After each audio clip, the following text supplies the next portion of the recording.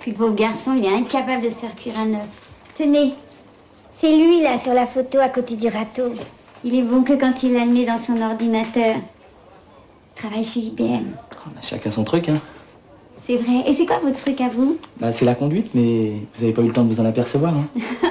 C'est amusant, mon fils passe son permis de conduire aujourd'hui pour la huitième fois. Ah, huit fois.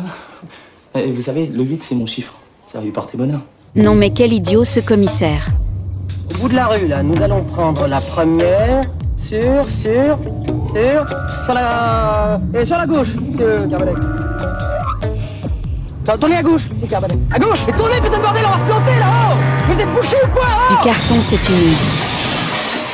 Putain Putain, mais c'est pas vrai Mais ça fait 10 ans que je fais ce métier, mais j'ai jamais vu un débile pareil Mais vous connaissez pas votre droite de votre gauche Si, mais il fallait me le dire plus tôt. Ah ouais, faut vous envoyer un fax, je sais pas qu'on tourne à gauche Mais à gauche, c'est à gauche, putain C'est pas compliqué de tourner un volant, d'appuyer sur une pédale, bordel Bah, chacun son métier. hein. Quoi Mais c'est quoi votre métier Hein Je serais curieux de savoir dans quelle branche ils prennent les bérets comme vous.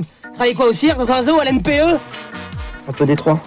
Depuis quand il y a des poulets au zoo Fallait le dire plus tôt, monsieur. Allez vous envoyer un fax Excusez-moi. Je vais vous faire quelque chose, monsieur le commissaire.